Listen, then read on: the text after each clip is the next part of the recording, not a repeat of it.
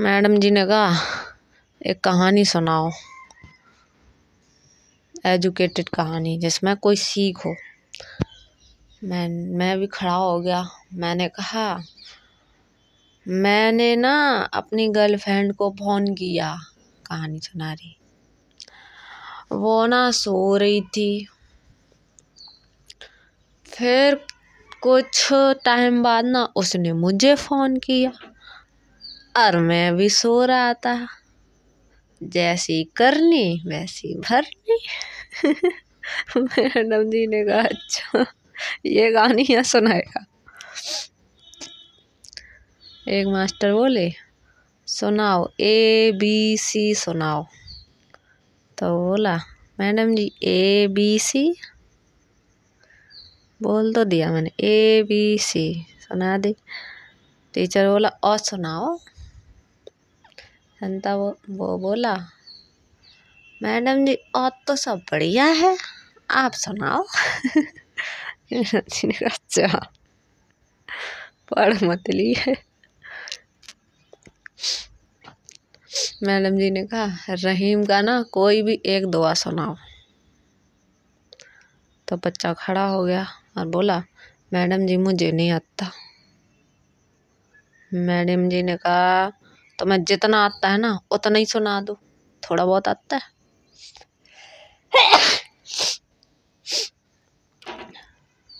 उसने कहा, चलो ठीक है सुना ही देते हैं, जब तुम नहीं मानते हो। कभी प्यासे को बाटर पिलाया नहीं। बाद क्वार्टर पिलाने से क्या फ़ायदा? तुरंत ही मास्टर खड़ा हुआ, बोला, चुप रहे, बैठ जा कमीने। ड्यूटी के समय मन भड़का रहा है तो।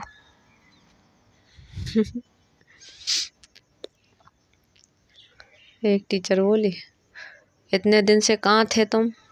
तो लड़का खड़ा हो गया, बोला, मैडम जी, मुझे ना बर्ड फ्लू हो गया था। अच्छा? पानी बना रहा? है? बर्ड फ्लू इंसानों को होता है।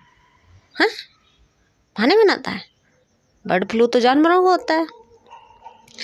मैडम जी, तुमने मुझे इंसान समझा ही कब है? आप तो मुझे रोज रोज मुर्गा बना देते हो। टीचर चुप एक साइंस क्लास के टीचर थे। बोले, क्लास में सो रहे हो क्या तुम? तो बोला, नहीं सर, सो नहीं रहा हूँ। गुरुत्वाकर्षण के कारण मेरा सिर नीचे की ओर गिर रहा है।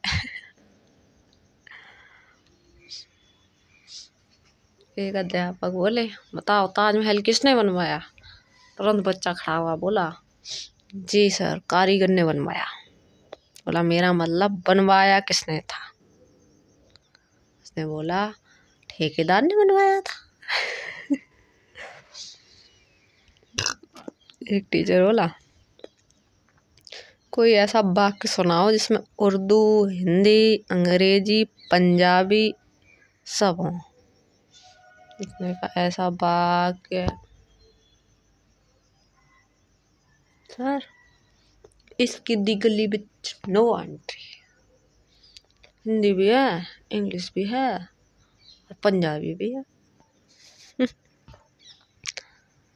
एक बात है पेपर की रोटी, टेंशन का अचार, लैंप की किरणें और सवालों की बहार। पेपर लीक हो जाए तो चांदी खिंच जाए और सीनियर्स का प्यार मुबारक हो आपको एग्ज़ाम का त्यौहार। एक टीचर ने पूछा, बताओ